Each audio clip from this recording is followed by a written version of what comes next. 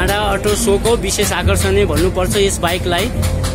यो bike याफो one thousand र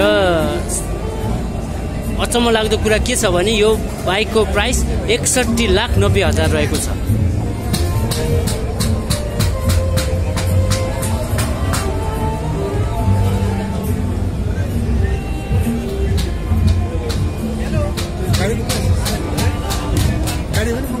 यो बाइक निश्चय नै धेरै गाडीहरूभन्दा निकै महँगो रहेको छ।